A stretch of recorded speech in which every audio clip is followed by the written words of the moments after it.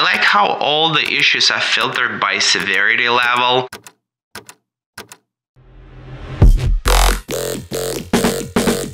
Coding and construction work have a lot in common. In coding, we build web and mobile applications. In construction, we build residential and commercial structures. In coding, we give instructions to AI agents to build websites for us. In construction, we have general contractors who take our requests and build houses. Now, question for you. What will happen if you go to your general contractor and just tell them, I want my house to look big, the foundation to be here and here, and make it a two story building. You'll be lucky if your general contractor understands your requests. There is something that goes between you and a general contractor, and that something is called plans.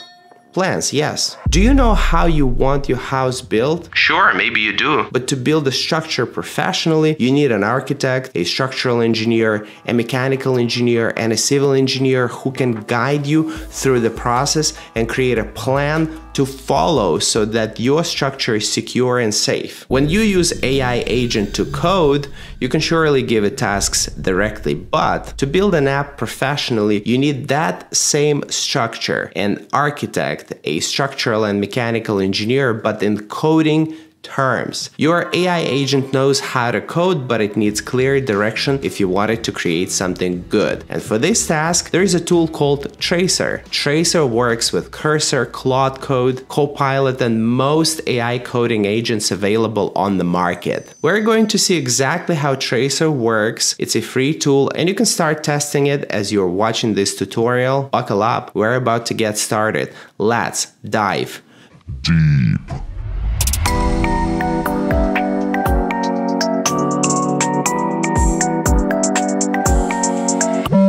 Alright, let's install this coding assistant. I'm going to click install Traycer for free. I'll pick the VS Code option, click install, trust publisher and install again. Here you can see a quick walkthrough, define tasks, blend with Traycer, generate changes, preview and apply, and code with confidence. And it's time to start testing Traycer.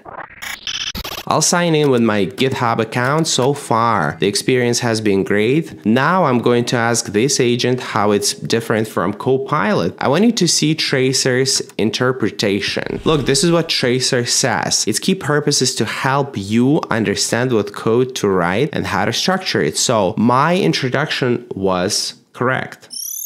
I have this poorly designed web app that I want to fix. Let's try to make Traycer fix it. Let me select a folder called Sharkagochi. This is me trying to recreate a Tamagotchi game, a shark Tamagotchi. I had some issues with that code base and I want Traycer to look into it. Traycer identified several issues including critical errors, code quality problems, and enhancement opportunities. I'm going to click on generate phases and Traycer is working on the task. Okay, let's start with fix duplicate and unused code. Traycer is generating the plan. Traycer provided specific steps that need to be executed. The cool thing, it can now give these instructions directly to Copilot. Wow, I can simply click execute in Copilot and it will follow Traycer's directions. Once again, I'm using Copilot, but you can use any other agent. Traycer works with everything verify changes done by Copilot. The verification process is in progress and Traycer comes back with a note. The cleanup requested has not been applied. We're going to ask Copilot to fix the issues again. Copilot is working and when it finishes, I'll re-verify everything with Traycer. Once again, Traycer will help me check everything re-verify. The verification process has started again. The issue is now fixed. I'm going to return to the phase breakdown, go to phase breakdown. Let's create a plan and work on the rest of the issues. You can see how Traycer suggests fixing structural bugs. I'm going to click execute on Copilot, then verify if the changes were completed correctly. Traycer detected that game config, color palette, and render config were only partially integrated. There's still serious structural issues that I'm going to try to fix now. I like how all the issues are filtered by severity level.